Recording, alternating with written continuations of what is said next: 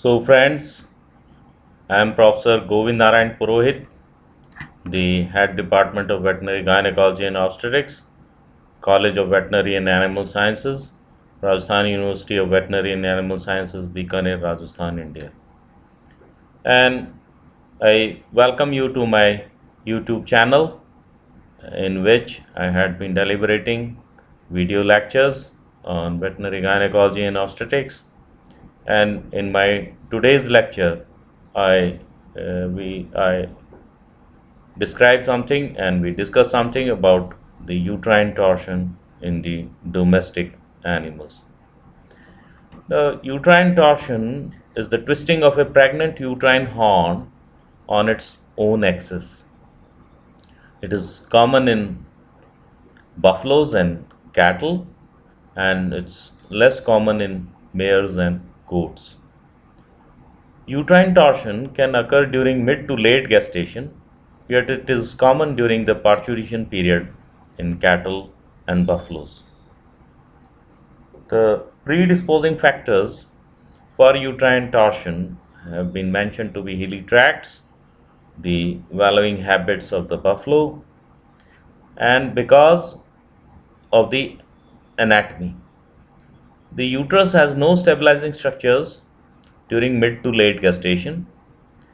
The amnion is fused to the allantois and the allantois is fused to the uterus.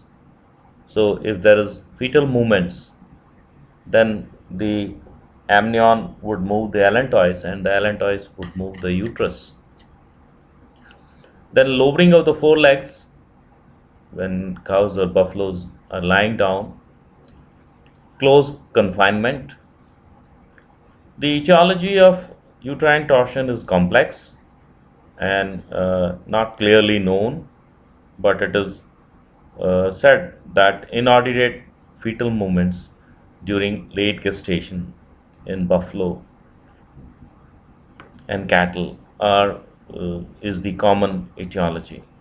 In the buffalo, the broad ligaments which hold the uterus are small and weak, and the abdomen is deep and capacious.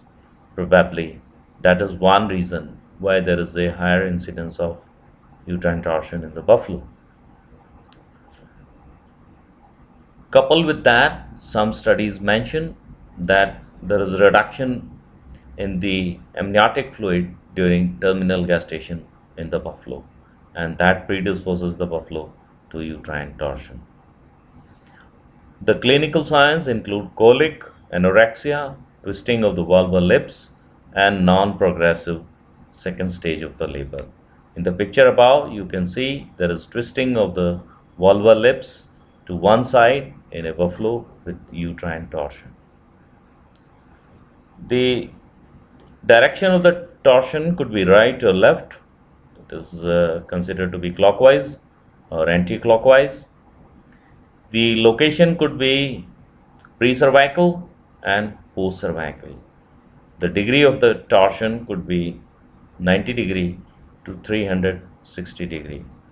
Torsions in cattle have been recorded up to 720 degrees also.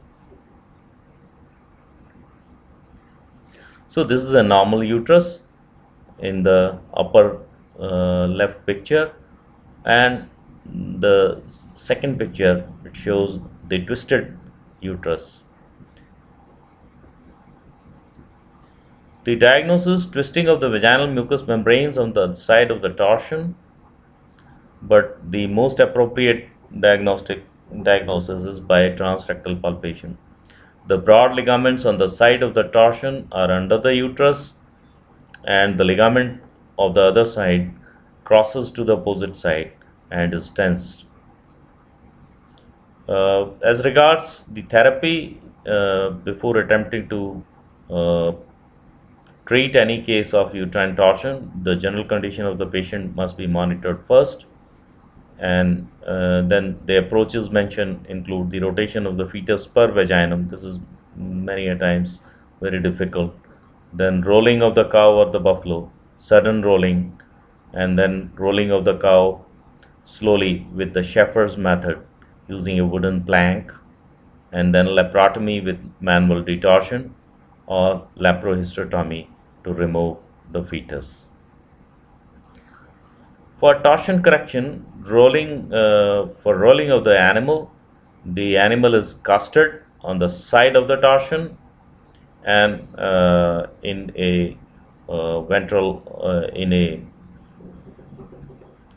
lateral recumbency and it is rolled to the side of the torsion. You, the concept behind this is that uterus being a heavier organ when the animal is rotated remains at the same place and uh, when the animal is moved to the other direction the torsion is corrected.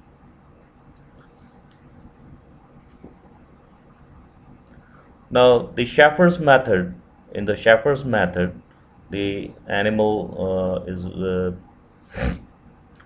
placed in a lateral recumbency and a wooden plank is placed as shown uh, in the A of the buffalo and then the animal is rolled slowly and pressures is applied on the plank so that the uterus does not come up along with the animal's body and so it is corrected.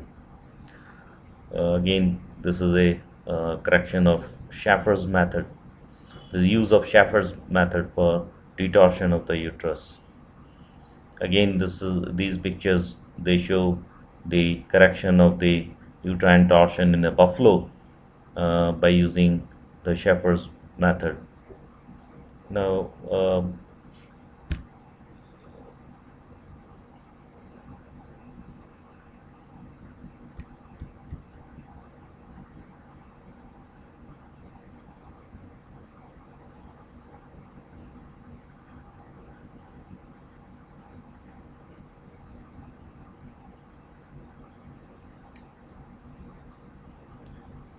the video is not playing so I, I will um, host this video um, along with this I will uh, with this lecture or I will host this video separately to show you exactly how the torsion is uh, the uterus is detors. But uh, in fact uh, actually the side of the torsion uh, assessment of the side of the torsion is important before attempting to roll the animal. Because if you are rolling it on the wrong side then the torsion would increase